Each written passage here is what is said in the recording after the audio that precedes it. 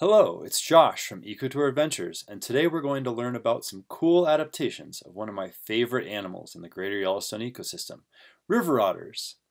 A big thanks to guides Laura Krusheski and Kelsey Wellington for getting this great spotting scope footage during one of our winter wildlife tours.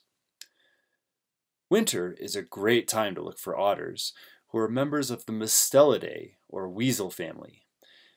These social animals primarily eat fish, but will also hunt amphibians, crayfish, freshwater mussels, or even small mammals and some birds.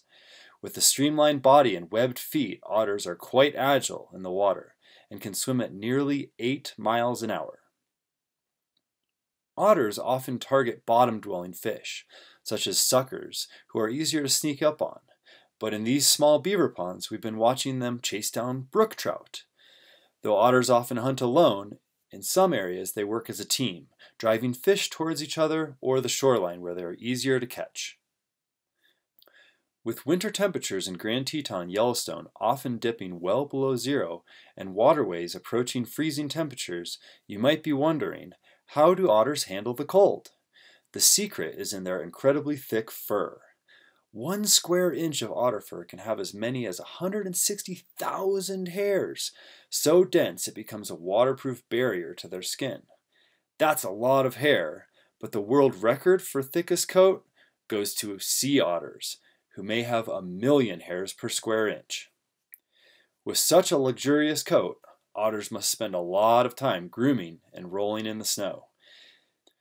This cleans and dries out their fur, allowing it to fluff up and trap air, which provides the insulation they need to keep warm. Scientists believe that social grooming also helps facilitate bonds within a group of otters.